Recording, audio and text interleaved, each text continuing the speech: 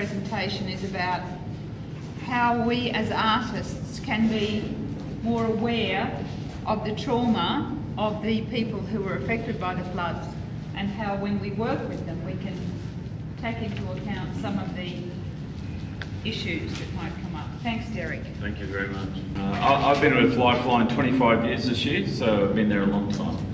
Uh, during that time, I've been involved in um, more than 20 natural disasters across our region. And uh, my first experience uh, actually as a young, good-looking, fit 17-year-old was the 1974 flood, so probably giving away my age there. Um, but that's when I actually got first introduced to community recovery. Uh, and since coming to Lifeline, uh, the Queensland Government has Lifeline listed as one of the immediate response organisations to go in after a disaster has occurred and to provide what's known as psychological first aid. So what I'm going to teach you and talk through with you is really about psychological first aid and how you can actually apply it when you're going into businesses that when you start talking about your mosaic, um, that if you're starting to see reaction with them and they're starting to relive the, uh, the events uh, of the 10th of January 2011, that you'll be able to know what to do about it.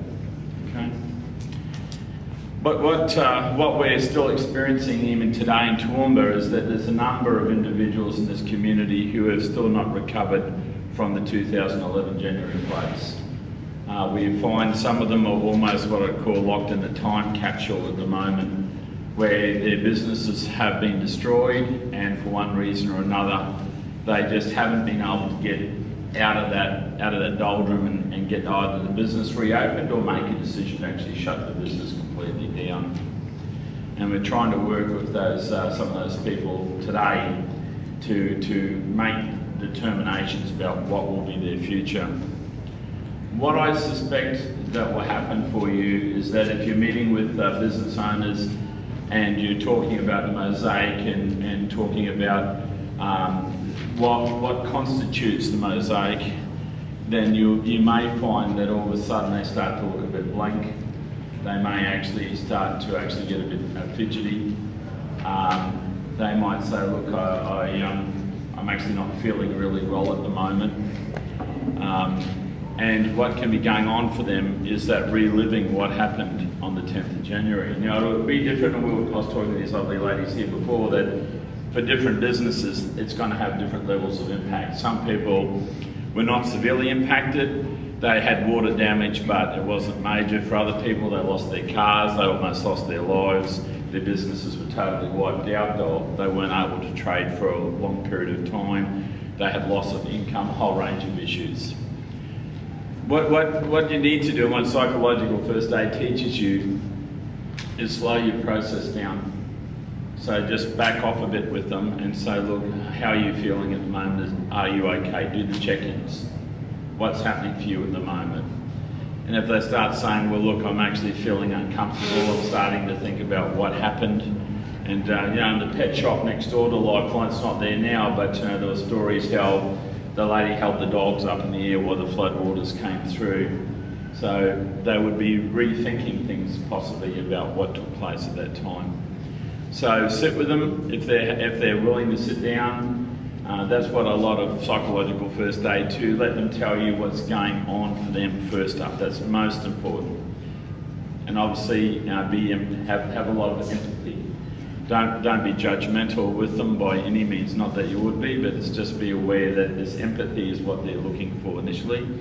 And then you can explore things if you wish about saying, well, who, who, have you been discussing your concerns with? You know, have you been talking to your doctor? Have you been talking to your partner? Have you got a good friend? Do you have a best friend? Who, who have you been sharing this? And, and it might come out that they say, look, I'm still not sleeping well.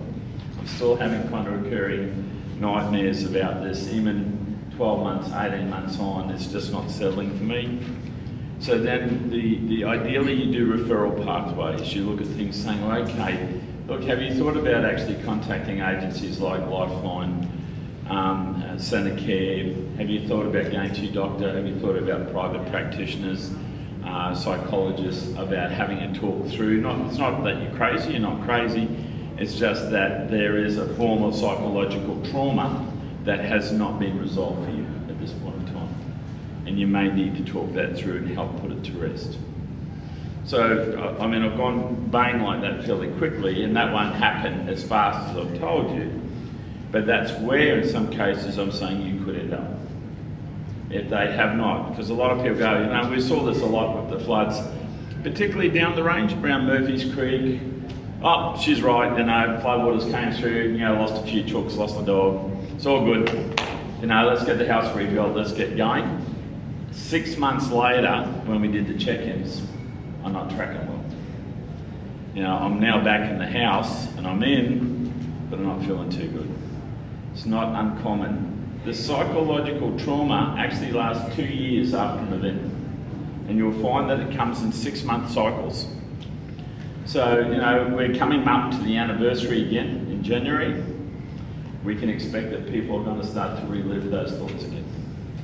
So if you're going and talking with them, you can expect that that will, may well be starting to build at the moment. So think about your referral pathways for them. If they become overwhelmed, I would suggest you pull back and stop right there and say, look, I'll come back another time when, when you may be more up to this at the moment. I can see now that this is quite distressing for you. Don't push beyond that point. Okay? So for you going in, is picking up what's the warning signs, looking at how they're reacting to you, asking those gentle questions about, well, what is happening for you at the moment? You seem to be uncomfortable about this. Is it the mosaic? Are you reliving the trauma that happened?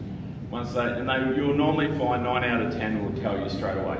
They'll open up about it and say, well, this is how I'm feeling. And then you'll need to make a call. Either you sit with them or you recommend a referral and come back in another time. If there are other work colleagues that are with them, ask them if there's a close friend of a work colleague that they're comfortable with and see if they can come over. Ask them if they drink tea or coffee. Give them, a, give them something to help simmer them down, or they might even just want a glass of water at that time. So yeah, look for those support measures. Someone who they're comfortable with, who can come and sit with them. If you if you come into that situation as well, uh, and you're seeing that they are really quite distressed, the other thing is don't leave them at that point of time. Come come to some form of agreed arrangement. Are they going to ring their doctor? Are they going to ring their partner come down and be with them? Is there someone at the workplace? Make sure that before you leave them, there's a plan in place of how you're going to keep them safe. If I take you back to World War II, what, what happened, in, and um, certainly in my era, um, I was told not to ask my father or my uncles or my friends about what happened in the war. You know, they, they don't want to talk about it, so you don't ask about what happened in New Guinea. What we've found out is that's actually the wrong thing. We should have allowed them to actually talk about what had gone on for them. And, and so it's, it's good that they actually wish to talk about it. And don't be surprised that they do get emotional. I did a presentation about six months ago and I was heavily involved in the floods here in a whole range of fronts, as Maria knows, from coordinating teams going in at some stage to 16 different locations across our region through to opening up our distribution centre one weekend and taking 172 tonnes of donations in two days. And remember, I, I, was talking about how you deal with the trauma, and I was remembering one of my truck drivers who I could still see in my mind sitting there with the tears just flowing down his face. And I went up and said, Barry, what's the problem? He said, tell them to stop, Derek. I can't do this anymore. I'm just overwhelmed and I can't handle it. And at that point of time, when I was doing the presentation, I actually got, I got myself emotionally wound up about it then. And I was thinking, what's going on for me? Like it was, and, and it was that raw, probably still for me as well, the impact. Because what happens is that when we're doing the recovery, we will often run on our adrenaline. So you sleep very little, you're doing long hours, you're making lots of decisions. And um, yeah, it was, it, yeah, it, it hit me, so it's not uncommon. And I've been doing it for a long time. A long time. Queensland Health have a mental health team that is circulating at the moment. Um, and, and, you know, the term mental health is we all have mental health issues, though. I just want to put that out broadly. You know, we, we have good days and we have bad days. We're human beings, just the way it is. And I think a lot of people go mental health and go, oh, you know, I'm crazy. Well, it's not that at all. It's just that you know, that, that's, that's the stress levels sometimes that we work under. I think it's really wonderful that you're actually having discussion about what you, you are encountering and likely to encounter in this process. I think that's very for, having a lot of foresight to do that. Because a lot of people say, oh, well, you put the mosaic together, you check out the facts. You know, Maria came down with us. We, we spent about an hour and a half, I think, sitting with the staff and a whole range of new new uh, issues came out out of that about events on the day of people sitting in a foot of water reading books, not wondering why their feet were getting cold as the floodwaters came through. I mean, that kind of service, I hadn't heard that one before. So, so it does draw out those things, those finer ones. And, and I think everyone here that was there on that day, we all have our own individual stories of what we experienced when we saw those floodwaters going down the streets. And, uh, and certainly below the range and, you know, I, you know, I could tell you a lot of stories, and particularly in the southwest. And, and, and one of the things I'll share with you is about in natural disasters that life doesn't stop during a natural disaster. So babies are still born, people still die, you know, people have birthdays, relationships break down, people get married. It's just life goes on, and what you've got to do is work around that to get the best results. Um, we, we teach people in suicide prevention and that is that you have to ask the questions. So if someone's not tracking well, it's not about saying, well, look, I don't think they're going too well, but I'm actually not going to ask the question. So I think what you can do with her is say, remember last time I was here? You know, we had a bit of a, um, you had a bit of reaction when I was here and was a bit concerned. And we talked about, you know, seeking a bit of help. Have you, did you follow through? How did you go with that? And she'll make it very clear very quickly whether she wants to go down that path or not. And on most times, again, they will say, yeah, I did actually, I did follow up, that was really good. Or no, I've been chewing it over, and that allows you the other opportunity to say, well, you know, look, I was in this workshop the other day, and they were really encouraging for your well-being to be able to get over the hump and move on. That'd be good if you had some counselling, and there's lots of free counselling. Lifeline's all free, and they're all professional counsellors there. We can book them in and do it for them. Okay, so ask the question. Don't be afraid. You know, people are afraid sometimes, and often what we've found, you know, um, in the suicide area, in Canada, they did a survey many years ago, and they got a group of people who were suicidal, and they actually pushed them through their GPs. And only one third of the GPs picked up on the warning signs.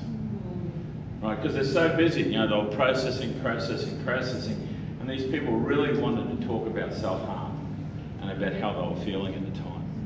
And out of that came a program called Living Works. And Living Works teaches you that you need to be, in actual fact, have to ask the hard questions sometimes and say, look, I see you're not tracking well what's going on. It's too late after the event.